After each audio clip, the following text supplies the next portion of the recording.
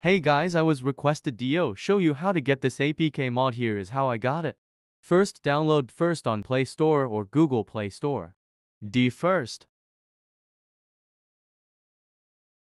On Roblox delete normal version of Roblox. Then install the APK mod.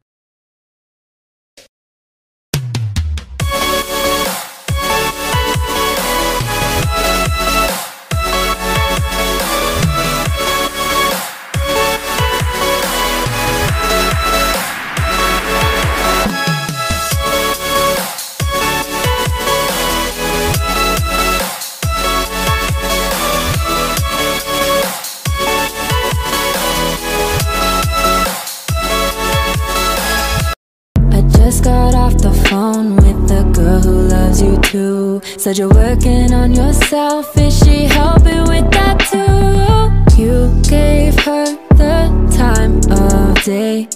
You told her that you would stay. You made me feel the same way. What goes around comes around. That's what I.